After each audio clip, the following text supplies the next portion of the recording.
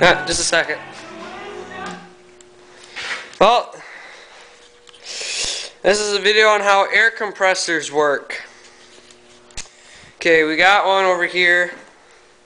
It's all together.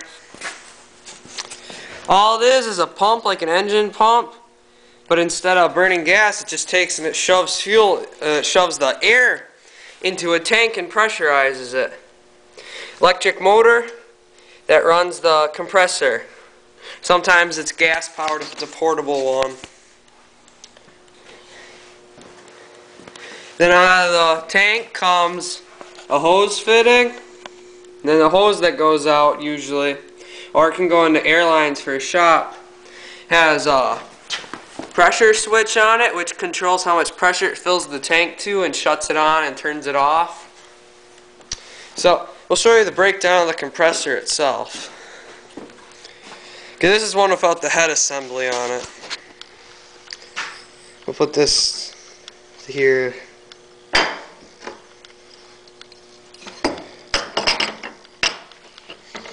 Okay, these sit right on top of here. And then this sits on top of here. Goes like that on it. So it sucks in the air through the air filter into here. Okay, then it comes up here on this side right here. Comes down there. It sucks. Just a second.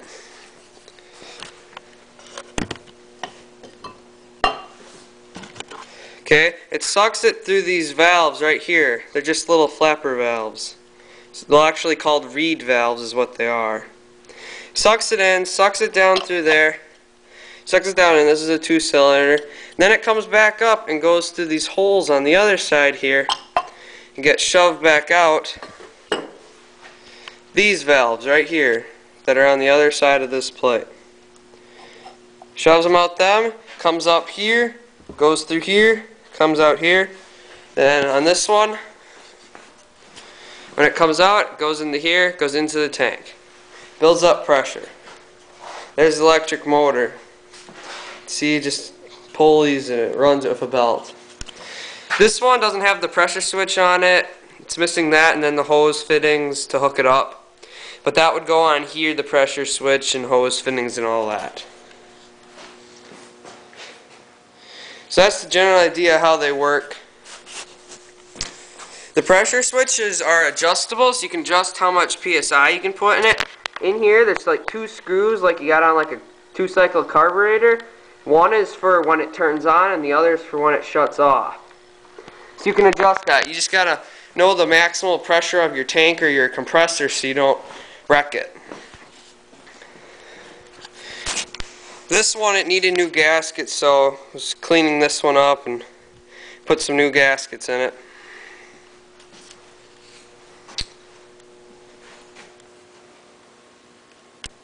Here's a closer look at the reed valves.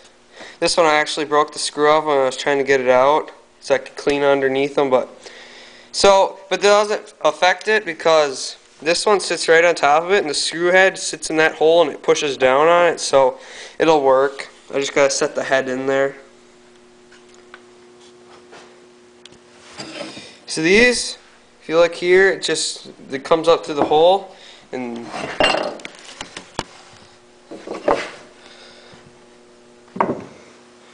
and the air just pushes through and pushes up on the valves. And when it's doing the other stroke, these will get sucked down and pushed tight against there so that they can't move and let air by them.